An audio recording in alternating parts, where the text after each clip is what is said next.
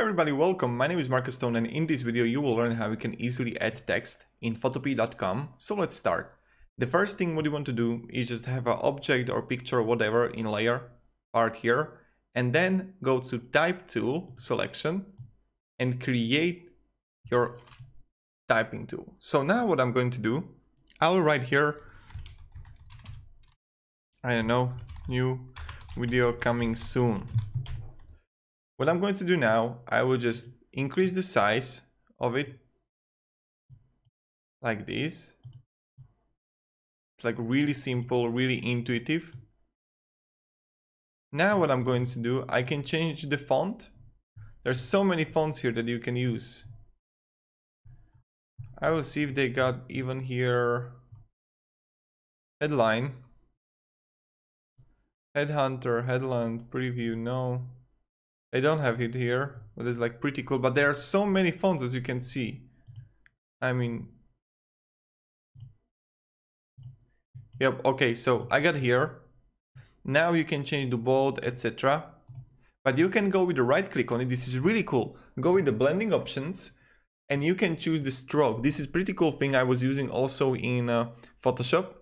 Go with the stroke and do, do you see the stroke around? It's pretty cool. Now, what do you want to do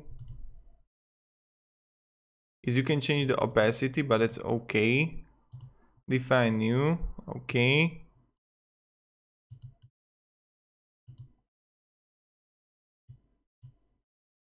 A stroke. Okay.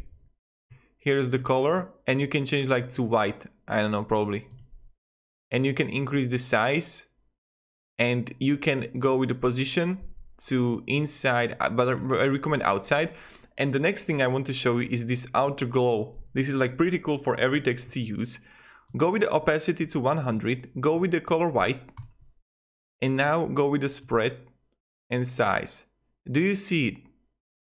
Like really cool neon white outer glow, which I love to use in many of my videos, many of my tutorials I make. And this is like so damn cool. And you have many layer styles that you can play around with, I recommend. So again, right click and go to blending options. And this is how you got it. It's really awesome. So this is how you add text in photopea.com. If this video was helpful, you can support me, subscribe, you know how it goes. So thank you very much everybody. Have a great day and see you in the next video. Goodbye.